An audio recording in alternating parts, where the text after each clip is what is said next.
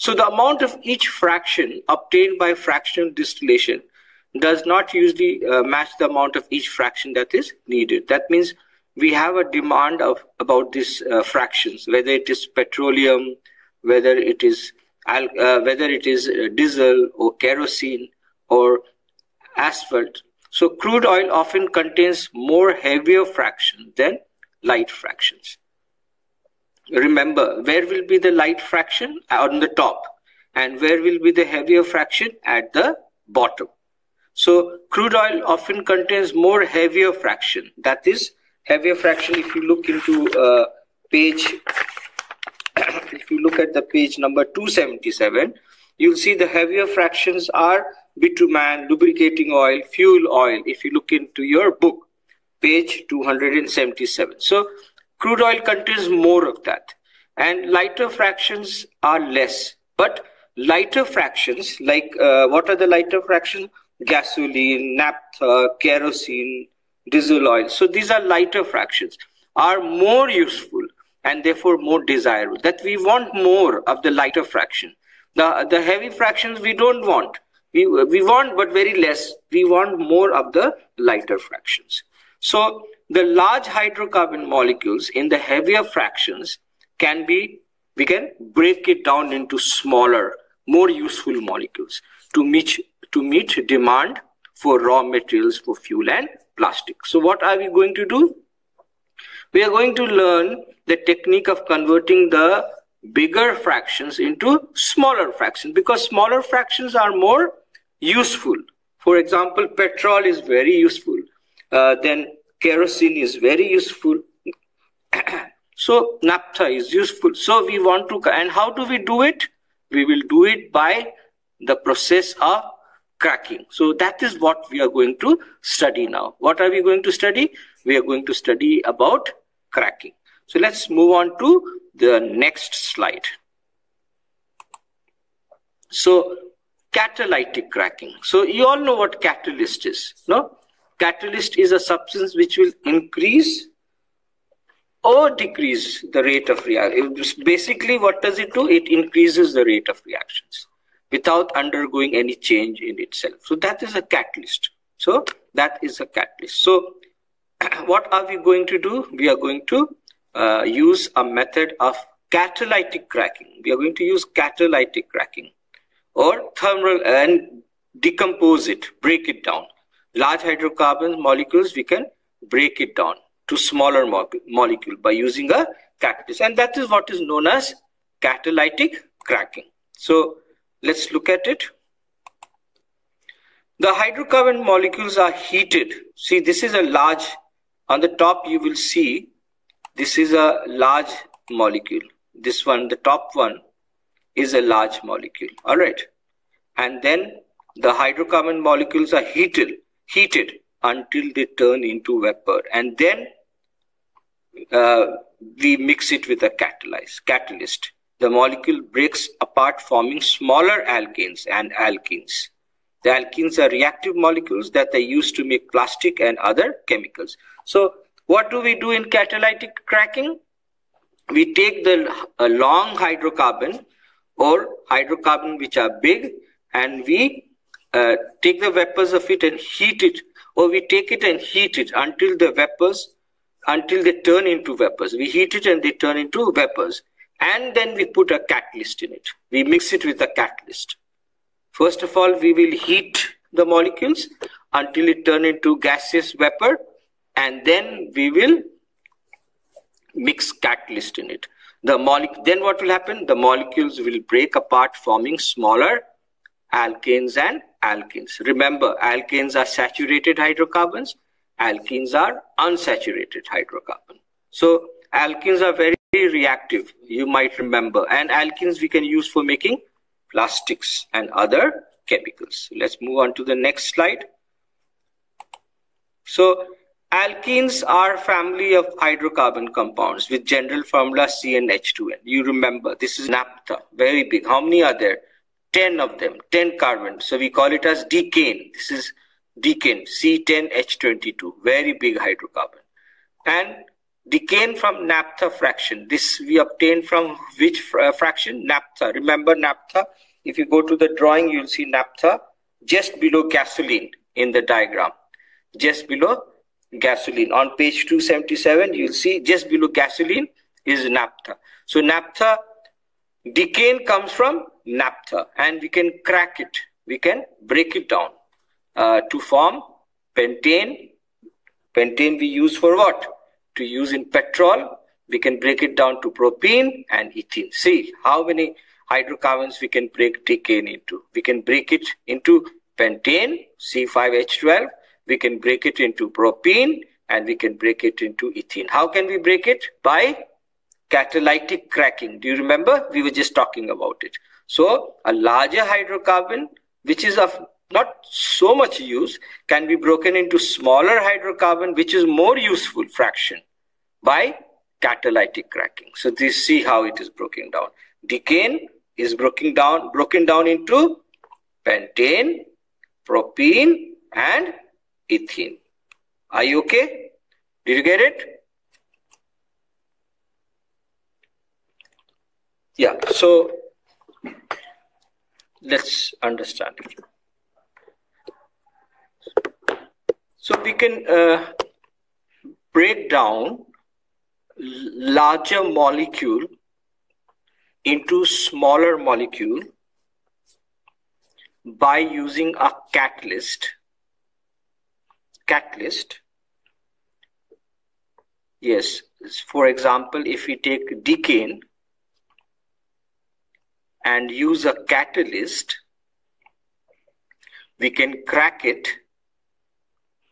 into pentane propene and ethene. So this is known as catalytic cracking. All right now let's move on to the next slide Uh, alkenes are examples of saturated compounds. So we already know a saturated compound only contains single covalent bonds between carbon atoms. Alkenes are examples of unsaturated compounds. Yeah. So uh, an unsaturated compound contains at least one double covalent bond between carbon atoms. So uh, I'm sure you remember the bromine water test. I'm sure you remember the bromine water test. All right, let's move on now. Now, how does a catalytic cracking work? Work. So let's look at this. Now, before we go into the diagram, let's just understand what we are going to uh, see. So in this process, a long chain hydrocarbon is broken down into a shorter chain by using a catalyst. So please pay attention. Stage 1. So this is the reaction vessel. A long chain hydrocarbon are heated until they turn into vapor. This feedstock is pumped into the reaction vessel. Yeah, so the hydrocarbon is pumped into it and then we heat it. So you can see the reaction vessel. Now pay attention.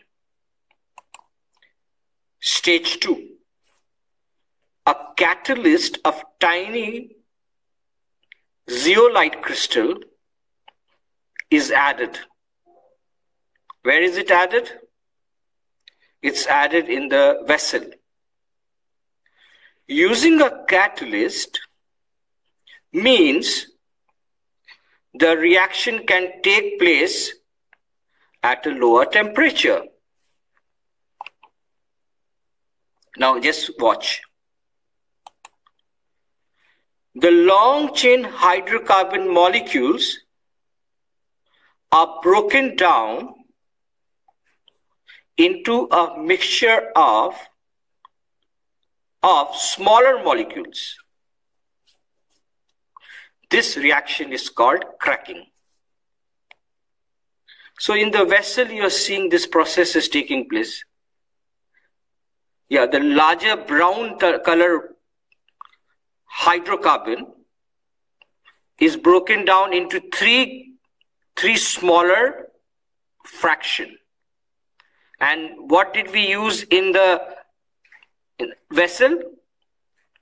We use a catalyst known as zeolite.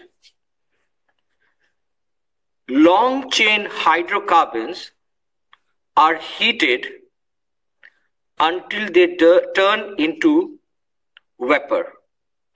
This feedstock is pumped into the reaction vessel. Yeah, so this is the reaction vessel on the right hand side. So what are we pumping inside it? Long chain hydrocarbons. Okay? Now what we do, just look. See, this is the vapor that is being pumped in. So long chain, this is the long chain.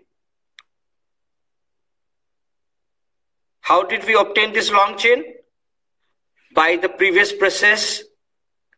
Yeah. Now let's move on. Stage two. A catalyst of tiny zeolite crystals is added.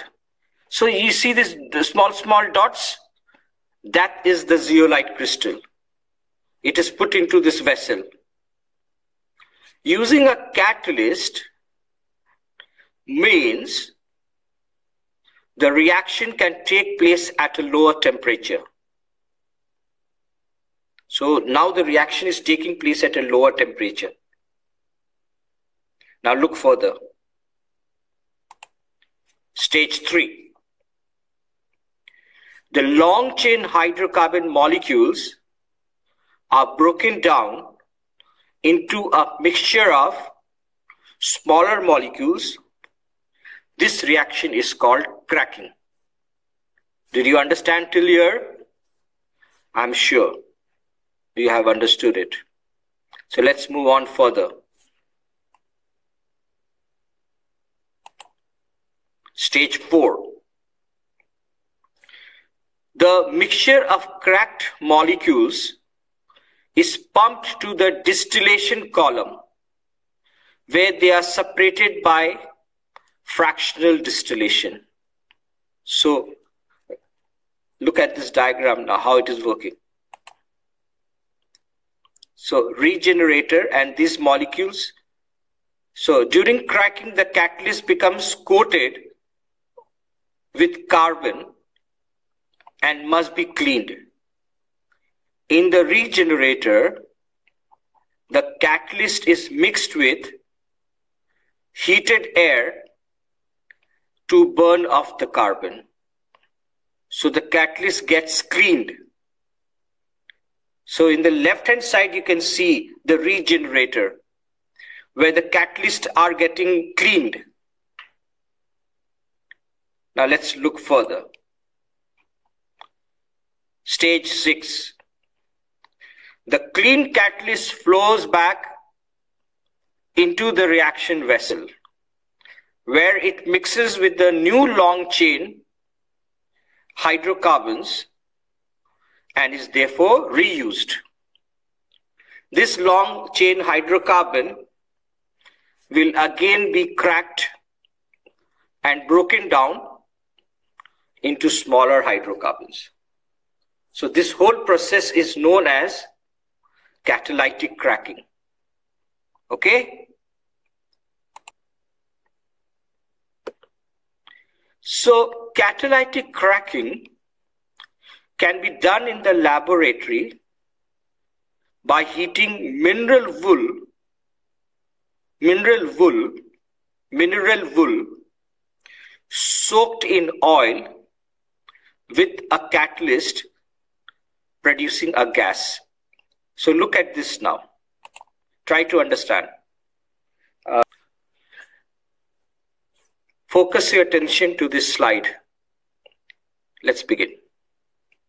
Catalytic cracking can be done in the laboratory by heating mineral oil, sorry, not mineral oil, mineral wool soaked in oil with a catalyst producing a gas.